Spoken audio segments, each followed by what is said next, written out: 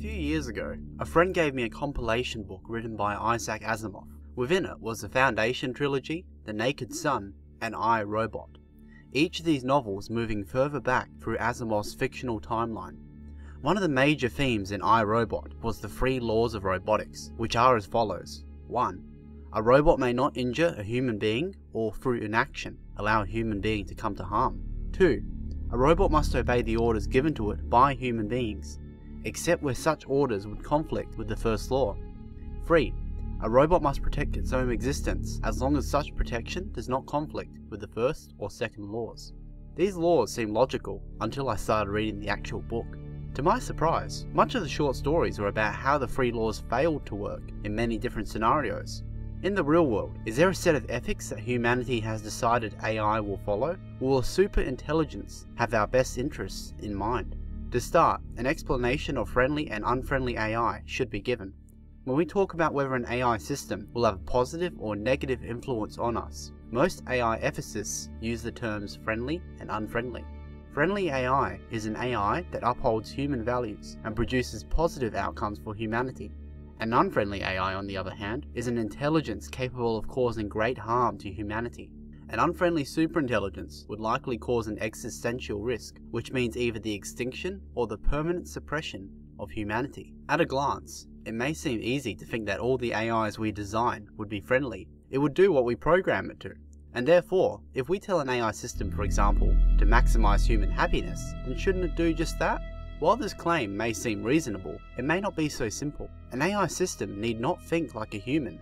Most people make the mistake of thinking that an AI system would reason like a human being, and giving non-human constructs human value is called anthropomorphism. In reality, an AI system would be hyperlogical and very alien in both thinking and its set of ethics. Most AI researchers agree that what an AI will actually be like when one is created remains a complete mystery.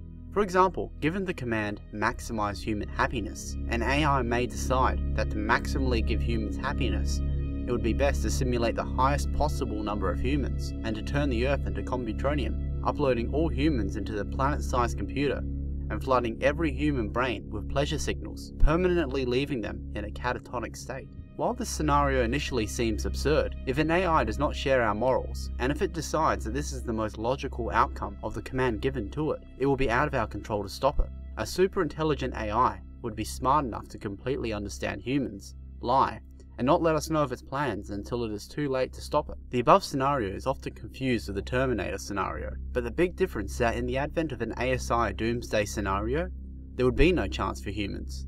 The idea of a resistance would be the same as a chimpanzee resisting humans. In a recent poll of 550 AI experts, the question was asked, what do you think the outcome of the creation of a strong AI will be? 24% said extremely good, 28% good, 17% neutral, 13% bad, and 18% extremely bad, leaving over 48% of the experts unsure, neutral, or bad. Some of these AI experts such as Steve Omohundro, Shane Legg, Stuart Russell, and Nick Bostrom, among many other AI researchers have come out to talk about this future problem to the public through novels such as Superintelligence and lectures. The notion has also been recently popularized by Elon Musk, Stephen Hawking, and Bill Gates, with Elon Musk in particular donating $10 million to safe AI research. So are there any proposed solutions to an unfriendly AI? Confining an AI underground or in a kind of virtual prison would not work, as any sufficiently super intelligent system would perfectly understand human psychology and would be capable of lying to escape from captivity.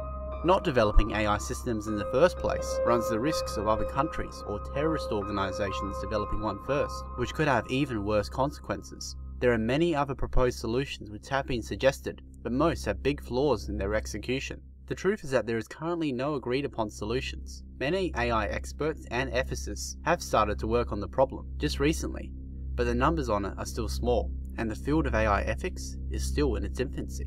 While there are many unknowns in the areas of AI ethics, the reason for this is because we are still in the early days of AI research. As our knowledge of artificial intelligence grows, our understanding of how much of a problem AI ethics really is will be better understood. Organizations such as the Machine Intelligence Research Institute, or MIRI for short, and the Future of Life Institute are doing great preliminary work on the topic, and I'll leave some links down below so you can check out their sites.